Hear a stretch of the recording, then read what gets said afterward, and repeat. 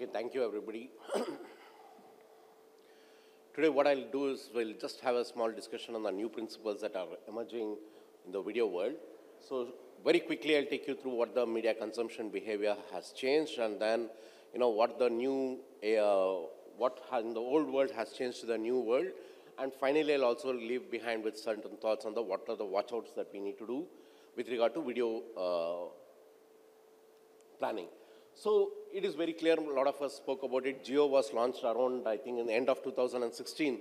Ever since the launch of Jio, we have seen that the digital has grown so uh, significantly, and today it is the largest share of the AdEx, as uh, Sam was just uh, taking us through. What is more important is not just that the users that it has added. Actually, I think this is the first time anywhere uh, in our history we have seen where we are dominating the world. The now, uh, this is from the Nokia data, so it is basis the uh, data streaming that happens, we are the world's largest data consumers per person. So those who have subscriptions, we are the data, largest data subscription and we outbeat even the advanced economies like UK, South Korea. And in by 2026, we'll actually have one of the highest penetration too. Now what, how come, how we are uh, consuming so much data, it's very clear that if you see the hours we spend on uh, video, actually roughly on an average an Indian who's uh, having a mobile and which is a large percentage of our population, three hours we are spending on uh, watching video movies. That's what the data shows. The consequence of that is actually if you were to analyze the average TVR or people using television over days, actually you see that across years it is actually falling down and the trend is very clear. The viewership is declining most of us do ask the question, you know, why is the viewership declining? And we have done some analysis which I would like to share with you. First is viewership by definition is actually a composition of reach and the time spent. What we have observed is reach has been consistent. That's, you know, people have not moved away from uh, TV as much as, let's say, in US where cord cutting is a bigger scenario. But what has actually happened is time spent, especially by the younger audience and certain age groups, which I'll uh, detail it little uh, further, they have actually come down. So here is an interesting chart. And this is what uh, most of us spoke uh, earlier to.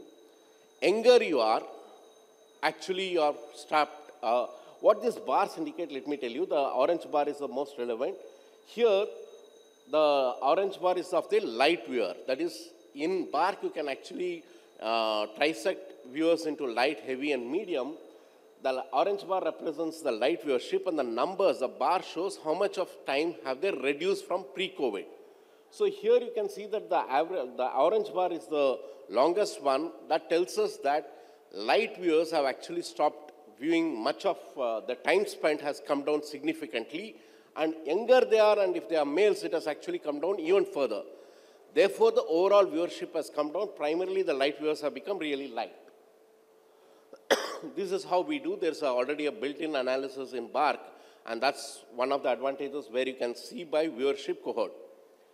Now, what actually we as uh, TV advertisers, we forget is when we say we are launching a campaign and we are delivering 540 GRPs on an overall basis, if you were to actually run an analysis, you would have not delivered any amount of communication to the light viewers because their time that they spend on TV has drastically come down. So the first thing that we need to understand is unless you get into and do a detailed deep dive of the deliveries that the TV is uh, delivering, you will actually be missing out on the light viewers. Now, that's a challenge. So the light viewers are increasingly the time spent is coming down and how do we actually communicate back to them? The advantage that we have is digital video offers a very strong solution and also it can add an incremental reach because in digital there is an option for you to actually go ahead and select only the light TV viewers. You might ask a question, how will the digital guy, he knows he's a light TV viewer. So for example, if you take Google, they have various data signals and triangulating those data signals across various hundred signals, they are able to identify who is the light viewer and you can actually target the light viewer. If you were to do that, then your communication again comes back and you balance out the deliveries. Even then the heavy viewer would have got a lot more communication, but that is fine because he would have anyway been subject to more ads. So the one point that I would like to leave behind is in this age of uh, digital and TV, you need to use digital video if you were to ever, if you want to balance out the deliveries between heavy, medium, and light viewers. So this is what I will just start with the first summary. So actually, if you ask in uh, TV world, it is very easy to meet your objectives for medium and heavy viewers. But what we normally do is we go on pumping in more TV GRPs actually trying to boost up for light viewers. Instead, what we, we need to do is once the uh, medium and heavy viewers GRPs are, they are, uh, we are able to reach them, then we need to move to light viewers, we can use the same, uh, we can stop the GRPs, move to light, uh, use digital video within the same money and actually give a combined reach and for which we have various tools. I mean, most agencies have their own tools. We have a well tried and tested called M-Spectra, which is able to combine, give a combined reach and frequency across this cohort. This alone ensures two things. One, as an advertiser, you're, you're reaching all the three viewership cohorts. Two, you're actually also saving a money because this actually ends up saving around 10% of your total budget. The next important question is how do we, outside of uh, heavy, medium, and light, how do we allocate money between TV and digital video? And that's a very common question. Actually, if you ask me, that's the most important question as an advertiser. I mean, a very famous investor once said it doesn't matter if you want to get returns, it doesn't matter how much you invest, what you invest, how you invest, and how you allocate between different budgets. I mean, different choices is the most important determinant. So as advertisers, if you want to get the highest return, we have to back the right medium. we need to have a robust way to allocate monies between TV and digital uh, video. I mean, there have been various techniques. Some use regression, but regression is not the right way to do, especially in a dynamic environment. And if I made a mistake, you will go ahead and keep repeating the mistake. The other one is you study the computation, in which case you are actually outsourcing the wisdom to computation. What we have come up is we have come up with uh, what is called as a media consumption intensity. So let me explain what is a media consumption intensity. For a given TG and for a given market, we can actually, uh, we determine using various data sets, like I have listed BARC for TV, ComScore for digital, and IRS for print, we actually find out what is the reach that each medium gives within the TG and also the time spent, and that multiplication is actually the media consumption intensity. And I, uh, by and large, if you were to allocate your budgets in line with your consumption intensity, you are on, you are safe, but actually we can even adjust it for uh, you know, your communication task and the life stage of your brand, and that I'll just explain to you in the next few minutes. First thing we'll have to understand is the younger you are, you consume more media. So for instance, the silent generation, 33% of them, a silent generation like that, uh, say there are above 50 years, they actually consume one media. Whereas the Gen Z, which is the youngest one, only one media is consumed by 12% of the people, and most of them actually consume two or three media. So and India is a young country, so if we have to succeed, we need to use multimedia. this is a very interesting slide. The blue line actually represents the TV, and across all age cohorts, TV is the number one medium. What is interesting is actually the black line, which is the internet. It's the older people, which is where we have labeled it as silent generation. The reach then actually exceeds, and as you go younger, the reach of internet dramatically goes up. And actually, if you see, more interesting is the time spent, and which is very dynamic. The uh, blue bars here, they represent the TV. Again, you can see they are shorter than the red bars, which represent the digital for the younger audience, which is Gen Z and millennials. And for Gen X, actually it's the reverse. So the younger uh, cohorts uh, are much into digital in terms of time spent, and the older ones are what are on TV. And this is something that we need to keep in mind. Now, we did this for one of the home decor company. Across different TGs, we'll find out that the intensity of viewing, if we were to calculate and therefore get the ratio, it dramatically differs. And intuitively, what we believe is what the data also shows. For example, mass TG is more inclined to uh, TV. That's the last, uh, I mean, yeah, the mass uh, TG is actually where TV outscores, uh, and in premium TG, actually, it's the digital, the ratio goes higher. Now, what we have also done is after we find the consumption intensity, we try to upweight for TV, especially for if the target group is larger and if you're doing a new message. And you might ask, why? I mean, I took so much time to explain that the time spent uh, by younger on digital is higher, and now I'm sort of saying that we need to upweight weight on TV, and I'll tell you why. First thing we need to understand is TV is bought on CPRP, or therefore it's a fixed cost basis, and digital is bought on CPM basis. So the digital, and if I were to equalize both of them and bring to the same thing on CPM basis, let's see how it goes. The blue line is a CPM, irrespective of the audience size, it actually stays the same for the digital CPM. For the TV, which is we are actually buying it on a CPRP or a fixed cost basis, the CPM drastically reduces as the audience size increases. Because you have paid the same money and you are reaching more people. And if your target group, target audience is much more, TV actually tends to be a lot more efficient. And actually, the other way to look at it is if your addressable target market is only 40 to 60 million, TV is not the right option to go because actually digital makes a much better job. More importantly, TV actually gives you a huge spillover. So I might be planning only for 20 to 40 females, but actually I end up reaching males and all, the, all others because TV is a broadcast media and there's a high amount of co-viewing. Let's see that, but digital, as we know, is a very precise media. Let's see a normal BPC product. And in most, intuitively, most TV audience for uh, beauty and personal care products are women.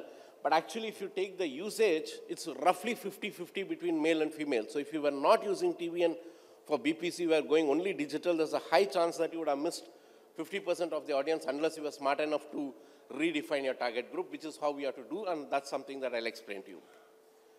Next important thing is, by and large, if you take India, the highly penetrated products, like for example, soaps, hair oil, or shampoos, their usage dispersion is almost close to the dispersion of the population. So the higher you go, actually, pray and spray works because, you know, are very high chances your prayers will be answered because the dispersion of your users is very similar to the dispersion of the population.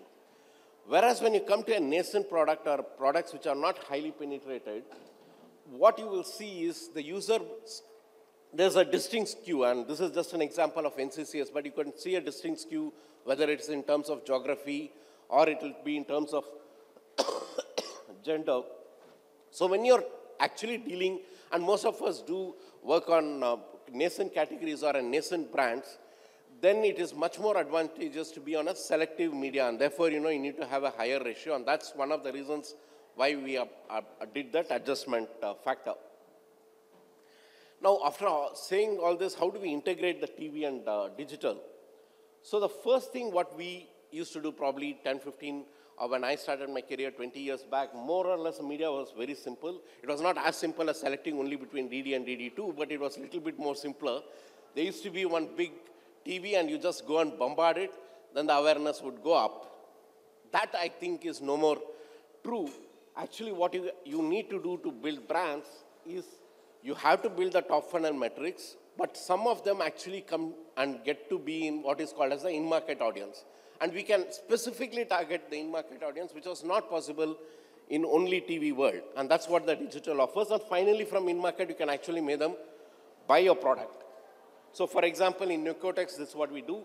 Nicotex, actually the smoker base in India is actually 22 or uh, lesser than percentage. But even then, a small drip feed of a TV GRPs actually builds the awareness. Then there is a life stage event, which is when most people trying to give up their smoking is when they just get married or when they just become a parent. And we can actually target them with a different uh, communication. And then we can actually lead them to buy. And actually, behavioral targeting is something so, you know, studying the consumer, a lot of research used to be done in the past, you know, and many of them may be true or may not be true. Today, luckily, you have all of them at the click of the uh, button, and that's something that we need to use when we use, we need to be little uh, careful. We said we will be following different cohorts, and for different cohorts, we should be able to give the right message. And what normally most advertisers come and say is, I have only two or three communications. How do I ensure that I have the right message? But actually, if you see, most of the brands have a huge inventory of uh, creatives simply because they're very active in social media. Brand not active in social media is little uh, not so common these days. So what we are saying here is TV still works best as a top funnel, but you please need to actually move into a full funnel planning. And in the for the uh, mid-funnel, you can actually do relevant targeting, use uh, cohorts for identifying the right targets, and then you can actually lead them to buy. Having said all the greatness of, uh, you know, targeting and that you need to use video, let's also see what are the key watchouts that you need to do because a lot of advertisers, especially advertisers of traditional uh, products, they still do believe that video does not work as much as TV. And uh, the challenge might be, you know, they may be not uh, using the TV, I mean, using the digital video the right way because of certain biases that might have come from the TV. And let's understand those two. The first one is in a digital video, we have two issues. The first is there's no viewability standardization. So in a TV, it's much easier. GRP is a GRP is a GRP. That's not true in uh, digital video. Second, uh, TV has evolved over a period of time. Digital started its, much of its life as a performance media, so it is not natively, it didn't start off as a brand building media. So the metrics that you have are more towards performance media. So the concepts like, you know, effective frequency are a little not so well developed in digital, but we, they are getting there and I'll say that would dramatically improve them as a brand builders. First thing, let us get back to viewability. What's a viewability? We define viewability as coverage, clutter, and dwell time. Now in TV, we don't need to ask uh, any question. When our ad comes, it covers 100% of the uh, uh, screen. Whereas in a mobile, that's not necessarily true. Half the time, actually, the ad will be coming as shown here. It will be taking 50% or 60% of your screen. Second, in a TV, but for Aston brands, actually it is clutter-free. Whereas in a video, especially if you go through, you know, social media posts and a video just comes, it's full of clutter. Your mind is actually not anywhere close to watching the TV, but it is full of, uh, that's what, that's when the video is played. So it's actually in a clutter environment. Most important is actually the dwell time. Like I said, digital, since it has its bearings in the performance media, and you know, if you meet any performance marketer, he will not like a very long copy, which will be unlike the brand, uh, uh, brand builder who would say, you know, long copies are best. So actually the dwell time, as per the standards set by MRC, is only that it should be only two seconds. Two seconds actually make up a dwell time in uh, digital, whereas in by definition, a GRP, I mean, a TVR is actually one minute because it's average minute audience. Therefore, the dwell time is a huge difference and we need to correct for it. Second more complication is because the TV evolved from a performance media to brand media and some were ahead of the game, actually viewability is not the same in digital media. So between two platforms, you can't say like one GRP broadly in news versus one GRP in, uh, let's say, GC is comparable, at least numerically. Here it is not even comparable even in a numerical and a definition point of view. So here, for example, there's a huge disparity between the largest uh, platforms. For example, a TrueView, if you were to buy YouTube and within that, uh, if your buy type is TrueView, then what is considered a view is if you have watched it for 30 seconds or for a duration of, uh, or the duration of the ad, in Facebook, actually, you know, if you're buying it on a CPM basis, even if it's a three second in-stream feed, it will still be considered an, a view impression. And if you buy it through, uh, through Play, it is 97%. So it's a lot more confusing. I mean, it's very, the Google made its name because it's such a nice interface and so simple, but when it comes to using it as an advertiser, it actually can become quite complex. So what we need to do as advertisers, especially if we're using digital for brand building, we need to set ourselves certain limitations and put certain standards for each brand, and one standard that is a bare minimum, obviously can evolve uh, depending on uh, the stage that the each brand is. We in brand building should uh, consider only completed views as a one view impression. So you can buy it on whatever way you buy. Every platform will give you what is a completed view impressions, and that's what we need to uh, compute whether you're, when you, while you're planning. The total impression may not be the right metric. That's, for example, in uh, skippable video in Google, even if you get 1 lakh impression, actually it will translate to 20 to 25,000 only a completed view impression, and that's what builds the brand.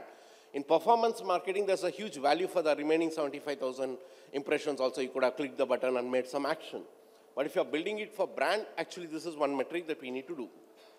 Actually, more important is actually the concept of effective frequency now TV over the last 50, 60 years, a lot of research did show that, you know, person needs to be exposed to a certain amount of frequency for the brand to get registered and the brand values to be inculcated and so on. But such a thing never existed in digital media for a long.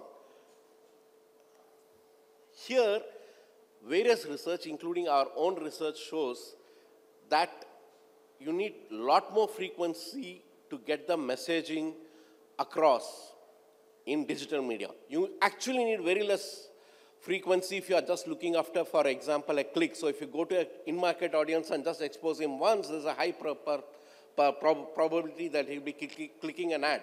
And therefore, in much of digital, they started actually maximizing the reach because they were initially into performance marketing and therefore they were assuming that they will be building only for the in-market audience. But when we are using it as a brand building, we need to be very certain, and a lot of research have proved, and including the Google's own studies, in digital, if 3 plus is roughly what builds a brand in TV, you need a lot more frequency in digital. But the way digital is bought, it's quite unfortunate. The reverse happens, especially, and that is why people do say that, you know, uh, digital has issues in building brands. The 1 plus in this particular example, and this is a live example, 1 plus is at around 87, but 3 plus actually sharply falls down to 22.5, though the average OTS is 3.54. If you were to do in TV and say, you know, I've got an average frequency of 3 and I just got 20, people would be a little hesitant because that's not the way the frequency distribution happens. But in, this is what happens in digital. Now, the way to do change is people started using a lot of metrics. One, there used to be frequency capping. In frequency capping, it says that if there is an individual, you limit the number of frequency that he gets. But that is not actually building the frequency distribution. What then the, obviously, you know, brand building has become such a big thing in uh, digital. Today, you have an option of target frequency setting. Just like in TV, you can set a target frequency of five or six, or like I said, uh, generally digital frequency set at around seven or eight. You can set that, then the DSP would actually go ahead and buy so that you know that frequency distribution is brought in. And that significantly enhances building the brand. So, for example, this is the 2-1 where we haven't bought it on a, uh, with setting the target frequency. And when you set the target frequency, the distribution becomes very healthy, much similar to TV. So the key thing here is while we are using digital for video, of our building brands, especially digital video, we need to sort of understand ourselves that the evolution of the medium started as performance. It was not actually meant, TV had an advantage of starting off as a brand building medium. Digital, much of its growth and the initial days were because of performance. And therefore, you know, a lot of metrics have been there. And there, there, it is also continuously evolving. And we need to be certain that we uh, evolve with the, how the medium is evolving and we use the right uh, uh, levers to build our brands. So this is what I would like to uh, end, uh, give a summary. First thing is, yeah, TV historically has uh, proven uh, credibility that it has built brands, but increasingly younger audience are moving away from TV, and so therefore a lot of them are light viewers. To supplement light viewers, you have no option. You cannot say, I will rejig the channel mix and get the light viewer. We have done all sorts of experiments. That doesn't work. You need to use other medium, and that's the uh, digital uh, video. Second thing is, most important is to allocate TV and uh, budgets towards TV and digital quite scientifically. There's a certain amount of bias with certain previous successes in TV. So some, the older the marketer is, he would say, I will want 100% on TV. And then if you speak to a new age uh, business who has seen a success in the digital world, he will say, let it be zero on TV and 100 on uh, digital both would be wrong, and therefore we have a right way to actually evaluate depending on your uh, both your brand life stage as well as how the audience consume, and that's the best way to allocate the money. Then the third is what I said, digital offers huge targetability, but it doesn't uh, have the power of instant reach that TV brings in. So actually we need to mix both of it, and that's where what we call as through the funnel planning, which we have our own frameworks. Fourth is like I said, it is very easy to say digital has not built brands, though it has built. But we need to ask ourselves, are we using it the right way? Because the evolution was uh, from performance to branding. Now that there, every day there are new improvements, and we need to have those catch-ups to ensure that we use digital the right way to build brands. That would be my four key takeouts uh, for today's session. Thank you.